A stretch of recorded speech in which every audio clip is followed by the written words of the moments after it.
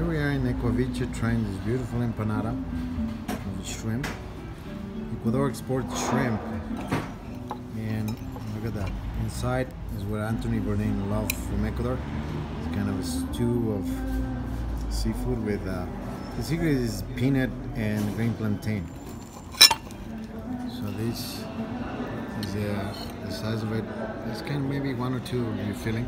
Ecuavite here and uh, look, we have plantains we got this sauce yuca sticks yeah, the cheese this Megan how's your empanada Hola. Megan Delicioso. delicioso and uh, what do you think Tom about the shrimp empanada First bites are amazing. The shrimp is just perfect, and the sauce inside is just amazing. oh this is one of the best One of the best. thank you for trying this empanada food tour in Quito